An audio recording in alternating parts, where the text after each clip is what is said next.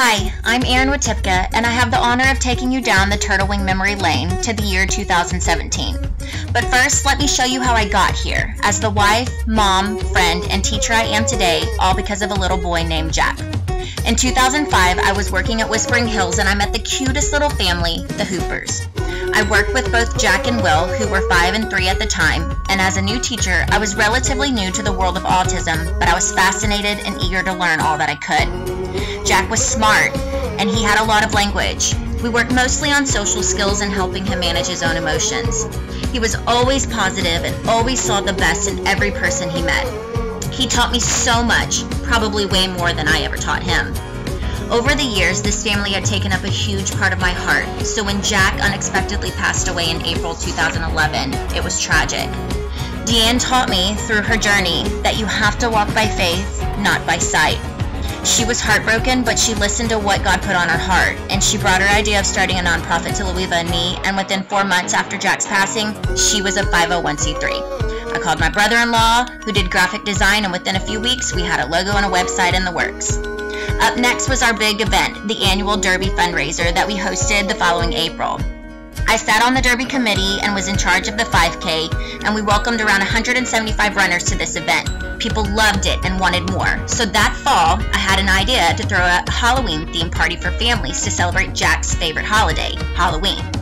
Kim Walborn helped me organize and pull off the first annual Monster Dash event. It's been so much fun to see people celebrating over the years, and I've never thought six years later I'd be helping young adults with learning challenges build work skills through a food truck working at this event. We later added another fun run in the spring called the Wurst Run that welcomed locals and out-of-towners visiting for the Sausage Fest.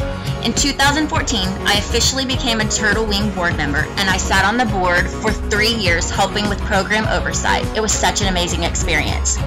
In 2016, I started helping Turtle Wing with marketing on social media and with crowdsourcing fundraisers like Giving Tuesday and Make Our Match campaign during Autism Awareness Month. And then in 2016, the foundation saw a need for parent support, and I hosted our first Moms Retreat with the help of Folk Wellness. And we continue to host retreats each year for moms, dads, and couples, and we're adding a retreat for siblings this coming year. Finally, this brings us to 2017. I was working with a former student of mine who is now aged out of school. I'd come full circle. More and more of my first students I taught were now 23 and had nowhere to go. This is when I followed Deanne's footsteps. I leaned in and I led by faith, not by sight, and I stepped down from the board and I started and then a new day. In October 2017, we officially became a Turtle Wing provider working to help young adults with learning challenges find a meaningful purpose in life. We were off and running, and with the help of my amazing husband, we threw together the Happy Camper in two short weeks so that we could host our first town event, a smoothie pop up shop. It was our first start to finish product workshop where we offered the community, and boy, did they support us. It was simply amazing, and the kids did awesome. We offer social meetups and outings where we work on social skills and making true social connections with peers. We offer life skills trainings and practice basic independent living skills in natural settings. In 2018, I had an idea of what if I had a place where young adults could work and learn and socialize with typical people. And that's when Jack and Mary's was born. The heart and soul behind this place was created from the friendship of Jack and Mary, so it was only fitting the place would be named after them. So after some fundraising, the building went under construction. In October, we had our grand opening of the yard.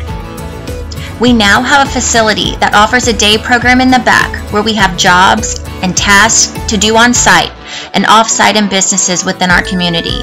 And we have work opportunities in the front. Our recycling program has expanded to more people and businesses enrolled, and we've added more programs that focus on gardening, making goods, canning, and moving our bodies.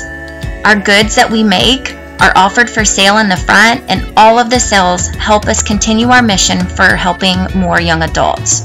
Our latest program is an entrepreneurial concept where we find that one thing that the young adult is good at and help them share it with the rest of the world.